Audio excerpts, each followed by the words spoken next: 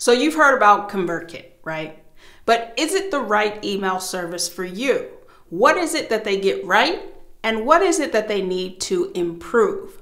Watch this video to find out. What's up, everyone? Welcome back and hello. If you are new here, my name is Janelle Allen, and I help business owners to create and market online courses. Now, in my last video, I shared all of the things that I like about ConvertKit. I also gave you a walkthrough of the platform so that you could see the features and just how to use it. In this video, I am going to share the things that I believe ConvertKit needs to improve. I'm also going to talk about who I think ConvertKit is for and who it is clearly not for. So hopefully this video gives you a good idea of whether or not you should use ConvertKit for your business. All right, let's jump in. One more thing before we get into the actual review. I want to do a recap of the things that I like about ConvertKit for those of you who may not have watched the first video. So the number one thing I like about ConvertKit is it gives you all of the essential features that you need to start or grow your online business using email marketing. Frankly, there are people who are just starting out as well as people who are running seven and eight figure businesses using ConvertKit. So you can't deny the fact that ConvertKit has what you need to run your email marketing for your business. Second thing that I like is ConvertKit's focus on deliverability. They are all about making sure that your emails make it to your subscribers. Otherwise, what's the point? So that's huge, and they're super transparent about it. You can find all of their delivery reports for every single month. That's a big deal. Third thing is their focus on improving the product. Whether they're adding the ability to track purchases, to create landing pages, to create products, they are all about keeping the product up to date and just growing with the changes that we see in online business. Fourth thing is those landing pages. So this is really helpful for people who may not want to pay for a separate landing page solution. ConvertKit gives you some simple landing pages that you can start with. Now, does it do all of the things that you might find in LeadPages or ClickFunnels? Absolutely not. But it's just a start. Maybe it'll get there. And there's power in having the ability to not only save money, but keep your systems in one place. Next thing that I really like is ConvertKit's focus on e-commerce. They're starting to put out features that allow you to sell directly through ConvertKit. So you can add products, you can set up checkouts, and you can do all of that within the system.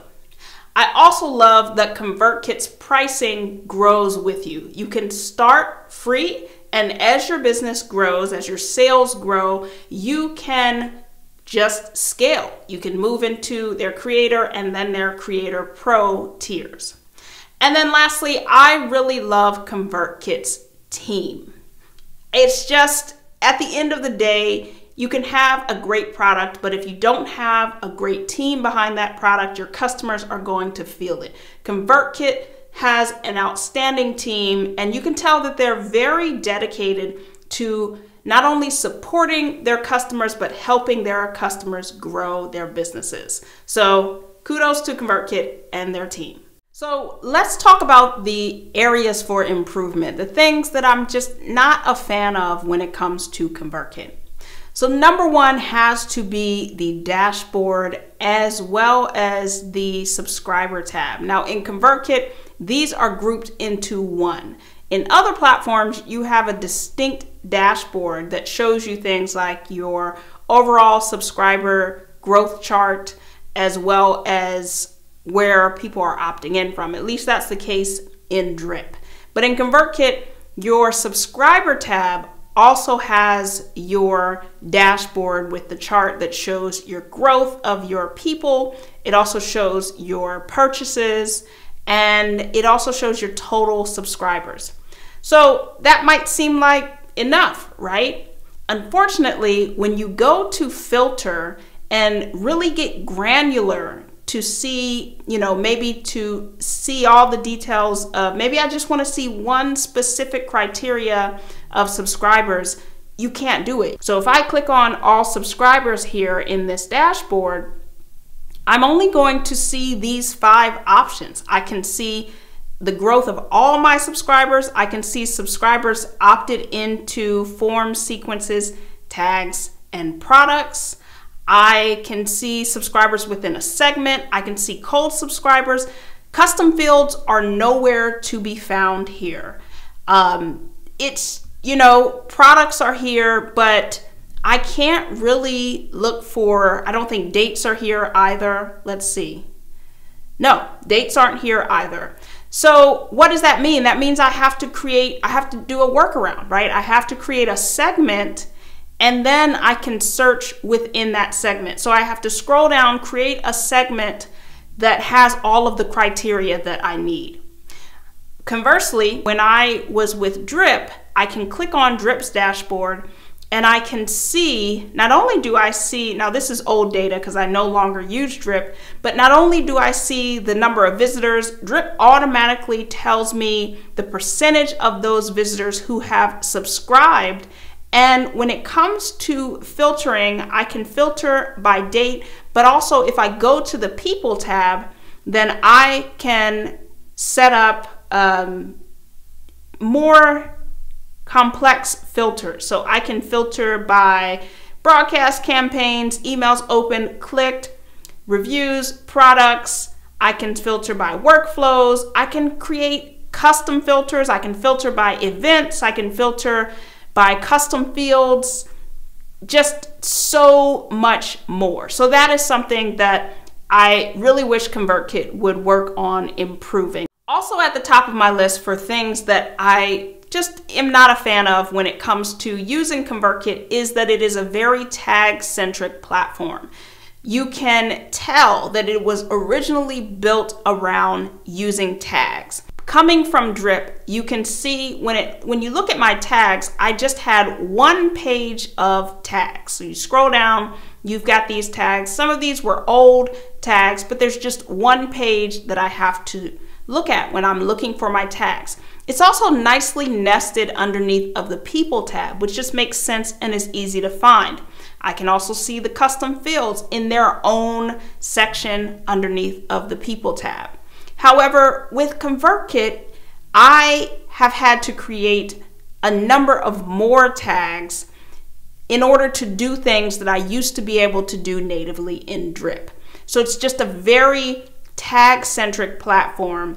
Tags are really the trigger to do a lot of things in ConvertKit. So I'm scrolling and scrolling and scrolling and scrolling and scrolling and scrolling and scrolling. Now, some of these tags, like my purchase tags, those were created before ConvertKit had products and purchases in their system. So I can't really put that on ConvertKit. That's those are kind of legacy tags that I could actually get rid of at this point.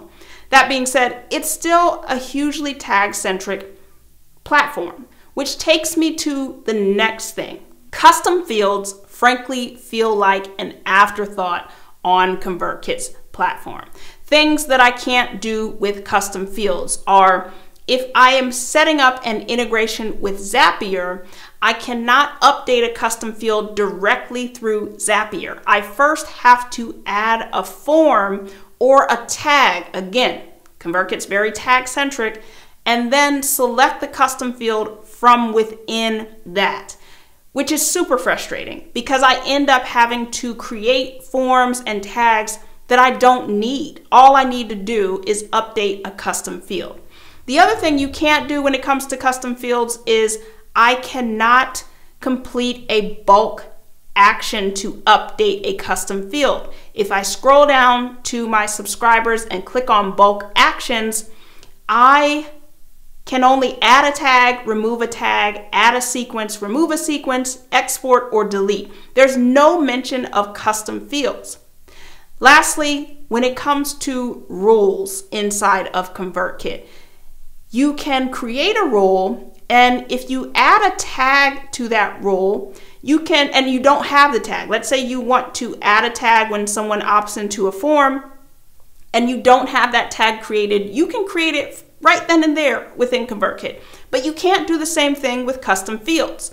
And so it's just example after example where you can tell that custom fields have are an afterthought and they haven't been integrated into the platform from the ground up. So that is a huge thing because custom fields are just immensely useful when it comes to email marketing. So the next thing would be the limited triggers for automations. You know, inside of ConvertKit, if I set up an automation, I've got one set up here. If I click create automation, I have four different triggers for this automation.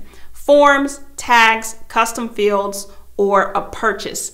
I can use any of those as the trigger for bringing people into this automation.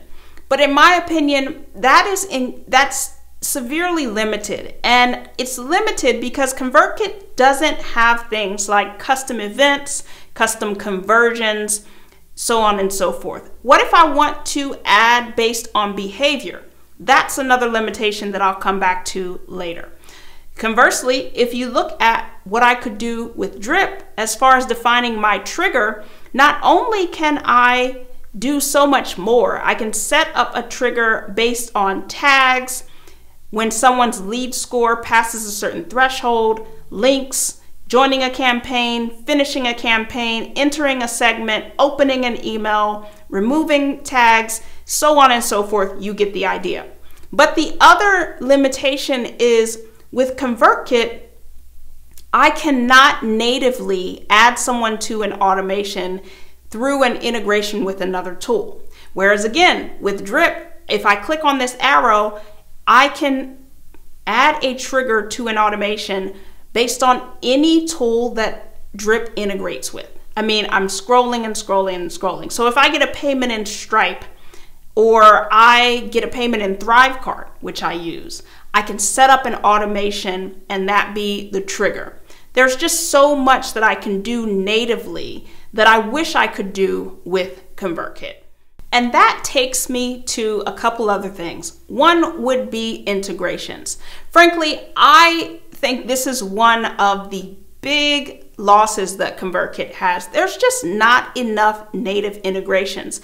In fact, when I signed up with ConvertKit after being gone for two and a half years, I was really surprised to not see very many new new integrations in the platform. A lot of these integrations were the same ones from two and a half years ago. And I've already showed you the number of integrations that I could use with a tool like Drip. So in my opinion, there's just so much opportunity in this space for ConvertKit to integrate with more tools, particularly for content creators. If you have, or course creators, ConvertKit should integrate with all of the course platforms that are top tier, like Thinkific.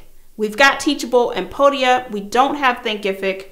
We don't have Kajabi. There's just so much opportunity here.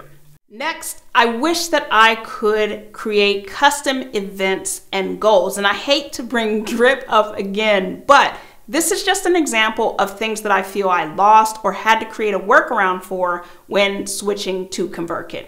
So inside of Drip, I could set up a conversion based on behavior. Now that could be a purchase, that could be visiting a link, that could be opting in for something. There were just so many options. And it was easy to create a new custom conversion, name it, set a value for that conversion, and Drip would just go off and do its thing and track that conversion. I could also create custom events. So Drip has default events that I can see in the system. If I click choose an event, there's a lot of default events that Drip is looking for because it's it's tracking behavior. If I don't see what I want, I can go into rules and create a custom event, which is super powerful because I can then use that event inside of my workflows and automations. But in ConvertKit, it doesn't quite work that way. You have your automations and you can create a, you know, if I go here and create an automation. Actually, I'm going to go back and look at an existing automation that I have. So if you look at events under this automation, you can see that the only options I have are to create events based on tags, products being purchased, a date, or a custom field update. But I cannot create a custom event. So in my case, if I wanted to, for example, I wanted to create an event when someone booked a call with me and I had to create a workaround and use purchases to do that. So I had to go into my account and set up that call booking as a purchase with zero dollars. It's just an intro call, so there's no monetary value. And then use that as a trigger it would have been great to just have events natively inside of ConvertKit. Now, while I'm here, let's also talk about the fact that I cannot use, because I don't have custom events, I can't use events as triggers. So if I want to get someone into an automation, they're going to be coming in, well, I've hit my max, right? So I can only have five five triggers. So this is a bad example. If I were able to use events, then that would allow me to do more and not run into that five trigger limitation. So let's just pick a different one since ConvertKit, I maxed out on that one. So this is my new welcome new subscriber workflow inside of ConvertKit. And I have it set up when the custom field updates to true that this person is a new subscriber to then welcome them? Well, again, I only have these four options here. If I wanted to create a custom event and have that as a trigger for a, an automation, I could not do that without doing some significant workarounds. So that's just one frustrating thing about using automations with ConvertKit. I find it to be limiting. Lastly, speaking of limitations, I have found ConvertKit's analytics to be extremely limited. I'm able to see the open rates and the click rates, but I'm not able to really see the source where people are opting in from like I could do with Drip. I'm also not able to see subscriber data that really helps me other than knowing what they've opted in for, what they've purchased. So here's an example of one subscriber's record inside of my account. You can see that there's a lot of scrolling for me to see everything. This kind of goes back to my frustration with ConvertKit's organization and UE. I just think there's a better way to organize this that wouldn't involve so much scrolling. So I'm scrolling and scrolling and scrolling and it gets pretty tedious. Imagine if I had a bunch of tags and segments down here, I would be scrolling forever. But I can scroll back up and see the email history, the automations, the sequences, and the purchases that this person has made. This is someone who just booked a call with me. You can see that this is the workaround I mentioned earlier. I had to set up a form for booking a call and do it that way. So, in my opinion, ConvertKit, this is one thing where ConvertKit just has a, a pretty myopic view of subscriber records and analytics. I want to see where my subscribers are coming from, how they're interacting with my site and my products, and just get a, a clear timeline of that subscriber's journey. So who is ConvertKit for? This is an important question. In my opinion, ConvertKit is for three groups. Number one would be content creators. So if you are a blogger, a vlogger, a podcaster, or a course creator, basically if you regularly put out content marketing, ConvertKit is built for you. It's designed to help creators to grow. So definitely feel comfortable using ConvertKit if that applies to you.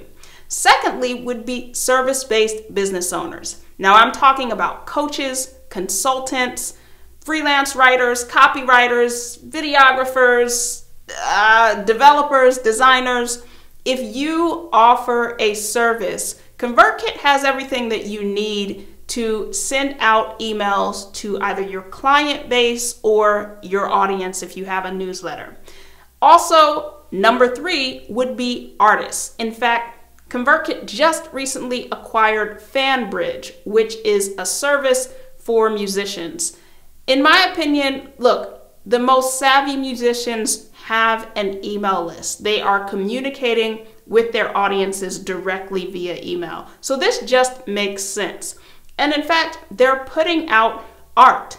So if you are a musician, if you are a painter, if you are any type of artist that's putting out emails, then ConvertKit is definitely going to support you in the same way that they support the creator class. Now we've talked about who ConvertKit is for, so we have to talk about who ConvertKit is not for. And first up on that list is going to be SaaS companies. If you run a software as a service, ConvertKit, you might be able to get it to work for you, but frankly, it's not the best choice.